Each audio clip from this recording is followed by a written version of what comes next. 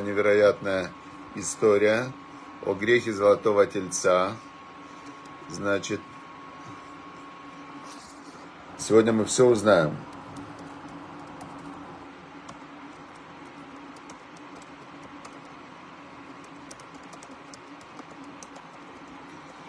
Так, все, дорогие друзья, поехали.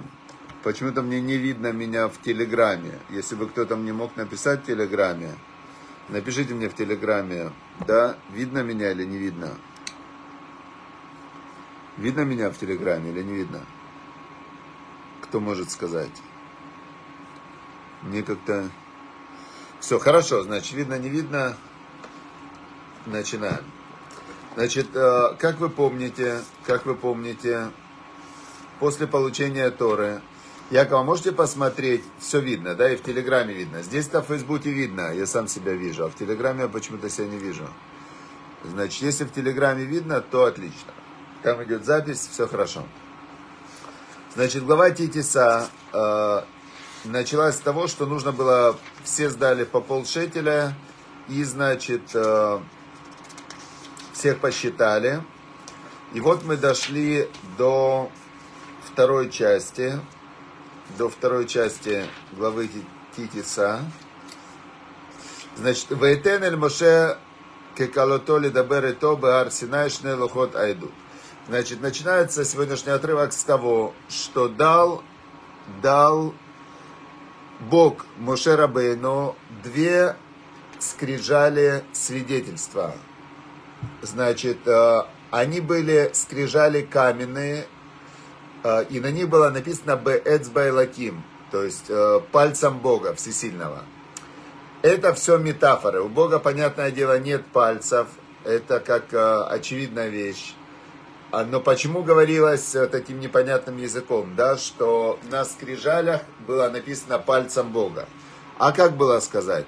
По-другому. Не было, ну как, а как ты по-другому скажешь? Если мы говорим э, с людьми, и мы говорим, что на скрижалях было написано, можно было сказать Богом, да, зачем было говорить пальцем Бога? Нет у меня ответа на этот вопрос, почему именно написано пальцем Бога, но э, очевидно, что это был не палец, потому что у Бога нет пальцев, поэтому это метафора. Это метафора.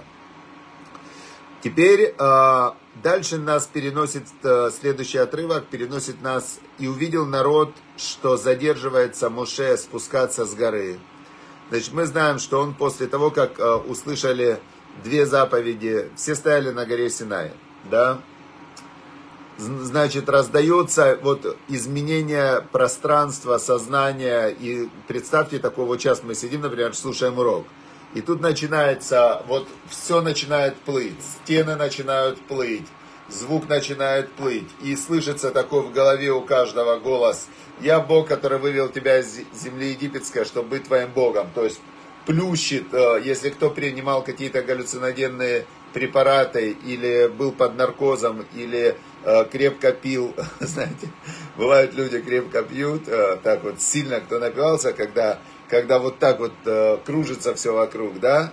То есть, э, так это было, вообще абсолютно было это, э, как сказать, э, малая стадия того, что чувствовали они в момент, когда слышали голос «Я Бог, который вывел тебя из земли египетской». То есть, у них рушилось сознание.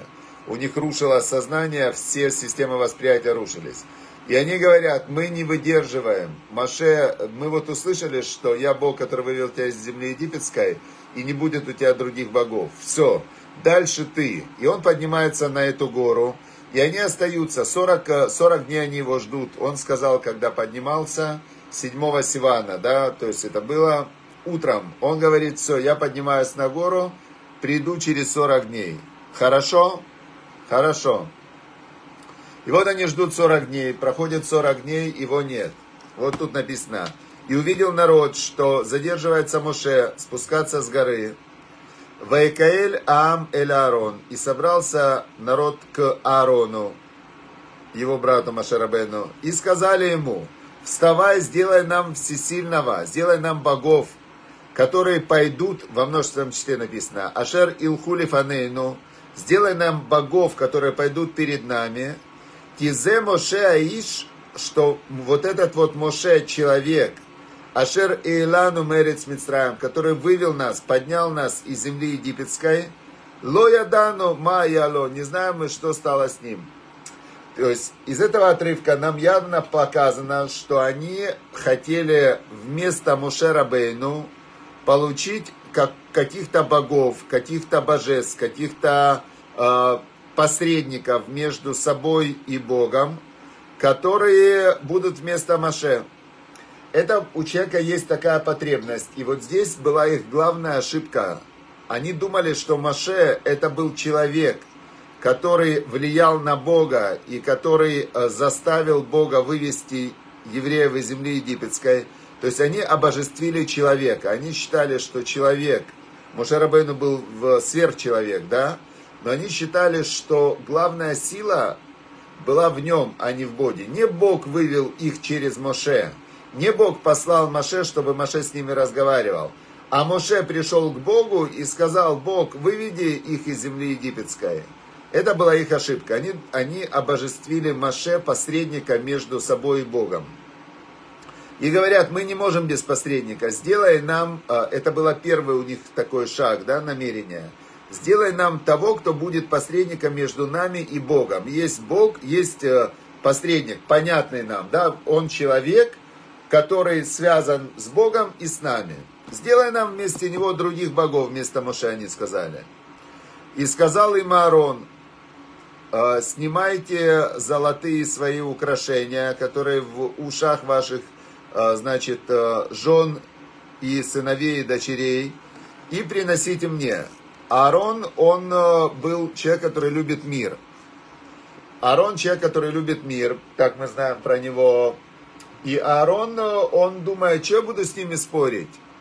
Им доказывать, что вы преступники. Его племянник Аарона, племянник Хур, он выступил сразу против них, которые так сказали – а те его убили, они его убили, представляете? Значит, Аарон видит, что его могут убить тоже.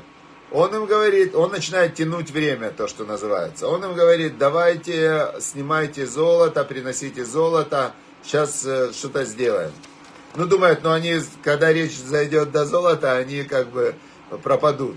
Нет, написано, сняли они сразу же все эти золотые украшения, которые были на них самих, и принесли все Аарону. Они привезли ему сразу же огромное золото.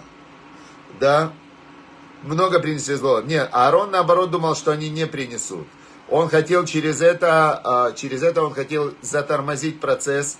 Он ждал, что Машерабейну появится. Вайкак Миадам взял он из их рук это золото и, значит, он бросил это золото в костер.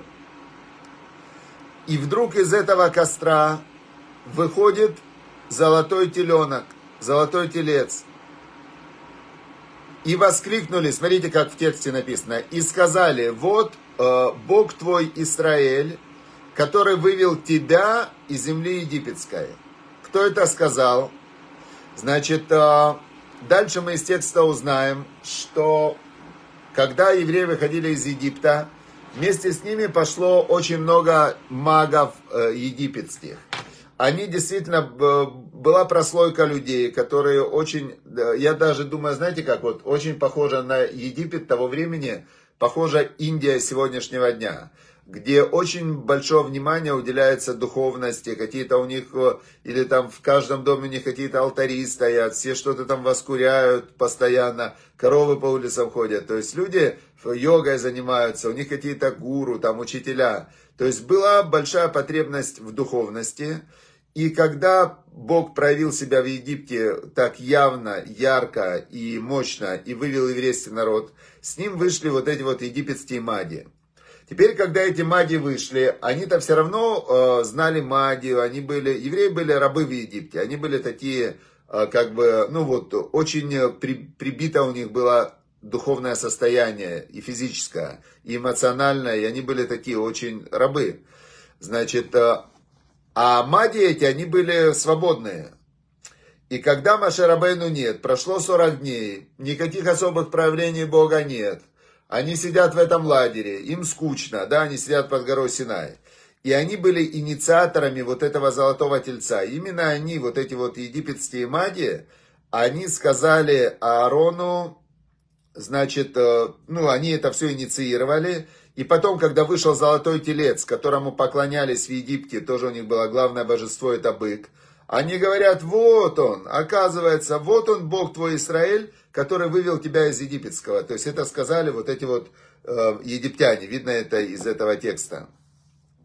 Значит, э, который поднял тебя из земли египетской. И увидел Аарон, э, что происходит. Значит, есть еще одно очень интересное предание, когда-то читал в устной торе, что был там такой человек по имени Миха.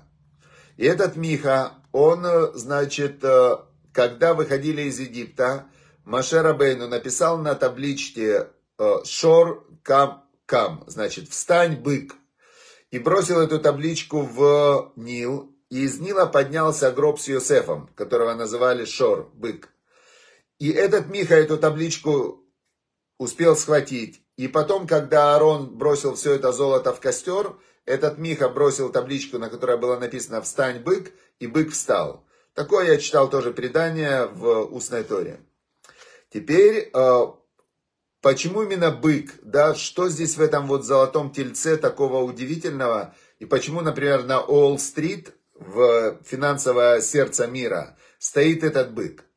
Бык в то время это было покорное животное, которое использовали для, для строительства. Без быков невозможно было строить. Быки таскали грузы.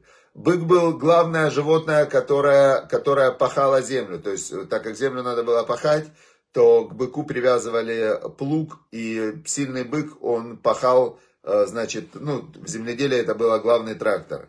Быка использовали, быка использовали для перевозки э, грузов.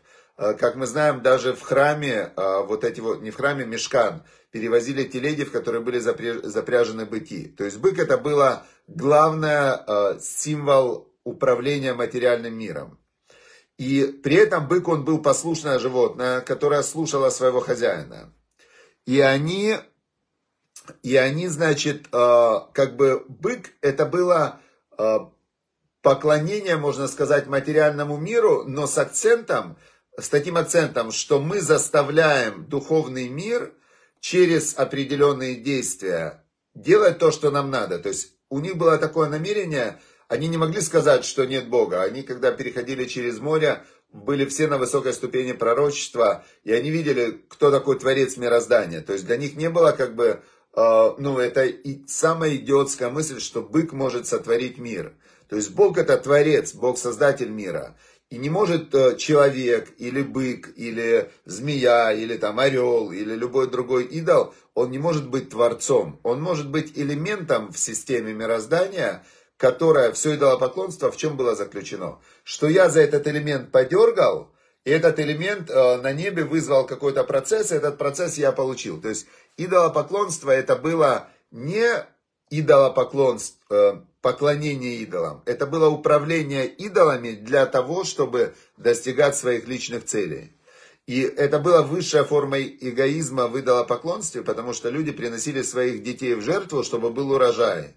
Они могли приносить жертву кого-то, убивать там, чтобы выиграть в войне. Понятно, да? То есть идолопоклонство это было такое высшая степень служения себе в этом мире. То есть люди были ограничены только этим миром, они понимали, что жизнь у них ограничена только маленьким кусочком времени, и пытались они выжать из этого маленького кусочка времени максимум удовольствия и пользы для себя, и для этого они служили идолам. А служение Богу это когда ты понимаешь, что этот мир это только тренажер для того, чтобы ты мог, выступая против своего эго и против своего животного, подняться на более высокую ступеньку, перейти в духовный вечный мир, где ты служишь Всевышнему и ты соединяешься со Всевышним. Теперь, значит, это вокруг. Теперь что было дальше? Аарон видит такая ситуация, этот э, золотой бык, э, эти мади вокруг, да, египетские, которые вообще озверевшие. И он, значит, начинает строить мизбех. Он говорит, значит, ну, будем служить. И что он говорит? Ваекра Аарон и сказал, и возвал Аарон и сказал, Хаг ля Ашем Махар, праздник для Бога завтра. Он ни про какого тельца он не говорил. Он говорит, завтра будет праздник для Бога. То есть он хотел эту ситуацию мирно повернуть все равно как-то к служению Всевышнему. То есть, и он начинает медленно строить мизбех, чтобы к завтрашнему утру он понимал, что завтра еще, значит, может быть, Маше вернется. Так он думал. Потому что по факту ошиблись просто на день. И Ваяштиму Мимахарат. Встали они утром завтра рано. Рано они встали утром. Ваялу Алот. И начали они приносить жертвы все сожжения. Значит, э, вот сейчас тут один интересно слышал э, объяснение от Равыска Казильбера. Начали они вносить, э, возносить жертвы все сожжения, там, где жертва полностью сжигается для Бога. Ваикшу шламим, и на, принесли они шламим. Шламим это мирные жертвы, которые половина сжигается, половина съедается. Ваешева амлехоль, и сели они тогда, после этого сели кушать эти жертвы мирные. Вешату, и выпили они алкоголя. В Якуму, в Лицахек. И встали они, Лицахек, встали они заниматься развратом. Значит, э, здесь в этом, э, в этом э, как отрывке рассказывается весь путь всех революций. Прям конкретно схема всех революций. Встали утром и принесли жертвы всесожжения. Все, жертва всесожжения, все идеалы, все ради идеалов. Все начинается с того, что идеалисты говорят – землю крестьянам, моря морякам, значит, фабрике рабочим, идеалы, всем, всем от каждого по способностям, каждому по труду, все будет хорошо, значит, миру мир, все, это идеалисты, начинают любую революцию. А, значит, здесь написано, и они принесли жертвы все сожжения, когда вся жертва сжигается ради идеала, да, ради Всевышнего. Вайкшу шламим. Потом идут мирные жертвы. Потом они, значит, себе шьют красивые, э, красивые костюмы, садятся, занимают министерские посты, э, садятся там в политбюро, э, ставят себе охрану. И народ начинают, значит, народу говорят, смотрите, те, кто хорошие революционеры, мы вам даем вот так. А кто, кто не с нами, тот против нас. И они начинают уже себе какие-то брать блага, значит, это как жертвы мирные, это то, что называется, половина уже сжигают, половина себе. Потом сели они кушать. Руководители восстания, всегда после этого они садятся кушать и пить. Дальше власть имущие, они начинают уже пользоваться этими, этими благами, которые они забрали. То есть все революционеры в итоге становятся такими властителями и хозяевами того, что они забрали у, у тех, кто несправедливо ограбили народ. В Якуму лицахек, и потом они встали лицахек, лицахек это служить идолам, заниматься развратом и убивать. Все революционеры в итоге, как Робес, Робеспьеры там и так далее, значит, они все потом становятся страшными убийцами, которые делают террор. После любой революции начинается террор. А, в это время Всевышний говорит э, Моше Рабейну, и сказал Бог Моше, иди спустись Посмотри, как испортился народ. И вот тут тоже, видите, народ Ашер Элита Мерец Мицраем, который ты поднял из земли египетской. Почему написано «ты поднял»? Ведь э, в, это же Всевышний вывел еврейский народ из земли египетской. Э, вот эти маги, э, Маше Рабейну мог их не взять с собой. И, но Маше Рабейну сказал, ну они искренне верят в Бога, ну как можно, это же они все-таки египтяне, хорошие люди, а, поверили в Бога, молодцы, ну что делать, давай их возьмем. А, это не были евреи, то есть евреи были рабами. Рабы это люди, которые сами не могут себя вести. А, рабов всегда должен кто-то вести. Значит, Всевышний сделал так, что еврейский народ был рабами, он их прям прессовал, прессовал, прессовал. Потом выходит Моше Рабейну, выводит их из Египта, и они должны были стать рабами у Бога. И так и было. Они сказали, на Асеве Нишма сделаем, потом будем разбираться. Мы, нам сказали делать, мы будем делать. И теперь, когда у народа арабская психология, то, то его действия зависят от того, кто будет стоять лидерами. Кто будет лидерами. И из-за того, что Машера Бейну позволил этим магам выходить вместе с еврейским народом, это называется Эреврав, то эти маги, они-то были свободные люди, и они в течение этих 40 дней, пока не было Машера Бейну, они, значит, что сделали? Они сказали, вот, боги твои, Израиль, давай, значит, вместо Маше сделаем этого тельца. Бог говорит, вот говорит, посмотри, испортился народ, который ты вывел из земли египетской. То есть понятно, что это не еврейский народ. Сару Маэр Минадерах, они быстро очень сошли с пути, который я приказал, и сделали они себе золотого тельца, и поклоняются ему, и приносят ему жертвы, и сказали, вот Бог твой, Израиль, который вывел тебя из земли египетской. И сказал Бог Маше, увидел я народ этот, и он ам кшеорев у. Народ кшеорев это жестоковыйный. Он народ жестоковыйный, упертый. И теперь оставь меня, говорит Бог, и раз, включится мой гнев. И этот гнев их съест, уничтожит. И сделаю я тебя народом великим. Он говорит Машарабейну так. И начал э, Моше молиться Богу и сказал ему, зачем ты будешь гневаться на этот народ, который ты вытащ, вывел из земли египетской, он говорит, большой силой и Баят Хазака, и рукой сильной. И зачем будут говорить египтяне, что злом для зла вывел он их, чтобы их убить в пустыне. Чтобы их убить. Он ему Богу говорит, пожалуйста, не гневайся, пожалуйста, не гневайся, и прости э, зло этого народа. Прости зло этого народа. И дальше Мушарабейну ему говорит, вспомни Авраама, Ицхака, Израиля, твоих рабов, которым поклялся ты, ты поклялся собой, то есть он Богу говорит, и ты сказал, что умножишь их потомство, как небесные звезды, и, и эту землю, которую, значит, э, которую ты им обещал, дать их потомству, дам потомству навечно. И что? Это Мошарабейну говорит Богу, как теперь быть? В устной торе этот разговор, он более подробно, то есть здесь же это письменная тора, это конспект. А в устной торе есть, э, есть, э, там был у них намного более длинный разговор с многими другими такими деталями. Но там была одна деталь, деталь что Машер Абейну ему говорит, смотри, стул на трех ногах. Вот этот народ, это потомки Авраама, Ицкака и Якова, которые за тебя готовы были умереть. То есть ты их проверял, испытания, не испытания, все. Он говорит, ну если они даже не выстояли, как, э, почему тот народ, который от меня произойдет, выстоит? Стул на трех ногах не устоял, на одной ноге тем более не устоит. Я же тоже потомок Авраама, Ицкака и Якова, он Богу сказал.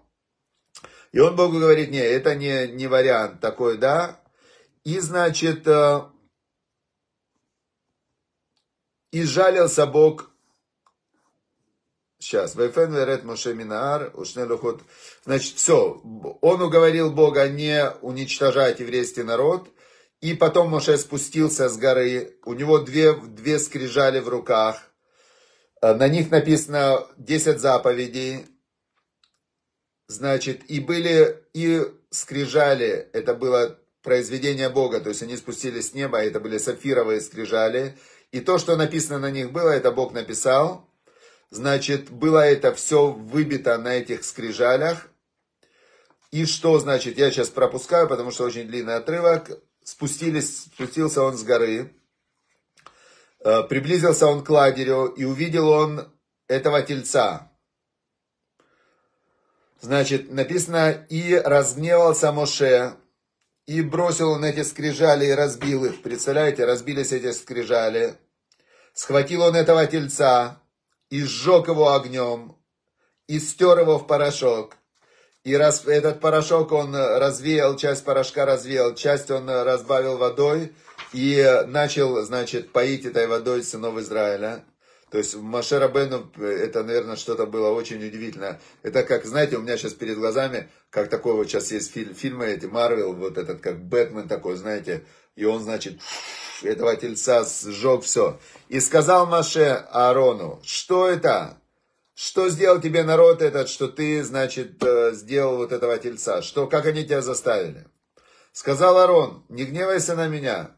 Я Э, ты же знаешь этот народ, как он, когда он возлез с ними, же невозможно, э, как бы ничего сказать, ничего сделать, то есть вообще ничего не понимают.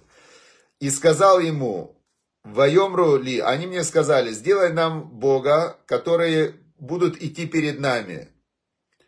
Потому что Моше, он э, вывел нас из земли египетской, шел перед нами, а мы не знаем, где он сейчас. И я сказал им, э, дайте мне золото, они мне дали золото, я бросил в огонь и вышел бык. Он говорит, я, ну то есть вот так было дело, я ни при чем. И, значит, э, посмотрел народ, Моше на народ в это время, и видит, что они такие ки паруа, у народ паруа, значит, они были в таком расхлябанном состоянии. Значит, были они в расхлябанном состоянии. И что? Маше Рабейну сказал тогда, да, известная фраза,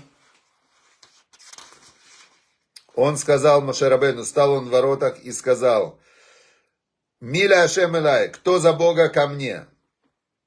И собрались к нему колено Леви. Дальше я сейчас пропускаю, потому что еще там у нас есть долго. Собрались колено Леви. Они вырезали 3000 зачинщиков этого безобразия. То есть этого мероприятия было 3000 зачинщиков. Из 600 тысяч мужчин, которые вышли Э, и стояли у горы. Три тысячи было злодеев, которые сумели, сумели сделать вот эту всю историю. Дальше, дальше убили их. И после этого Машера Бейну, значит, э, что он сделал? Э, значит, Машера Бейну после этого поднялся еще на 40 дней на гору Синай, и 40 дней он молился, просил Бога, чтобы Бог простил.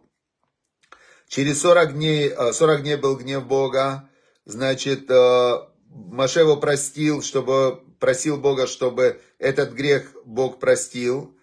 Э, значит, и Моше сказал Богу, если ты их уничтожишь, меня тоже уничтожай, стирай меня, как, меня как не было. То есть, и сказал Бог тогда Моше, Значит, э, я не буду уничтожать невиновного. То есть, если ты себя с ними соединяешь, я, конечно, не могу тебя уничтожить. И теперь, значит, иди спускайся к этому народу. Э, меня с ними не будет, написано здесь. Я теперь пошлю перед ними ангела вместо себя. Потому что если мое присутствие будет с ними, и они еще раз согрешат, то я полностью их уничтожу. Теперь, э, значит, э, и дальше здесь написана такая вещь интересная, что Бог сказал, что каждый раз, когда они будут грешить, я с них буду взыскивать из-за грех золотого тельца. И сейчас я вам закончу одной очень тайной такой э, вещью, которую я слышал тоже от Ревыцкого Зильбера за царь. Значит, э, Машера Бейну после этого взял свой шатер, вывел за, за общий стан. То есть у него отдельно шатер стоял 2000, 2000 локтей от стана.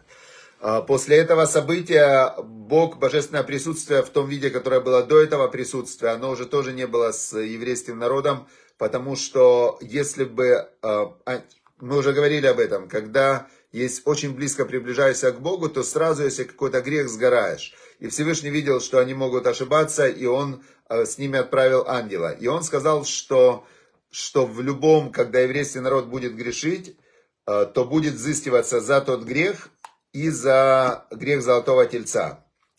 И Равзильбер рассказывал, что он видел в, в одной из книг, да, по Кабале, во время как раз Второй мировой войны, Великая Отечественная война, он сидел, изучал эту главу. И одна из книг по, по Кабале на эту главу, она сказала такую вещь, что глава как называется? Титиса, когда поднимет.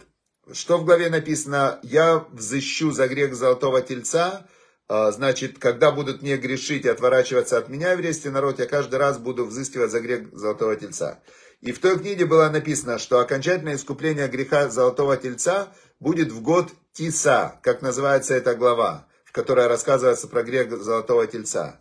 А, Тиса, это Гематрия Тиса 701.